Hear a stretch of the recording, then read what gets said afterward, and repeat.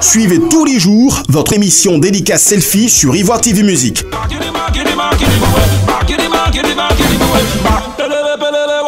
Envoyez-nous vos dédicaces selfie sur la page Facebook officielle de Ivoire TV Musique et obtenez un passage dans l'une de nos émissions.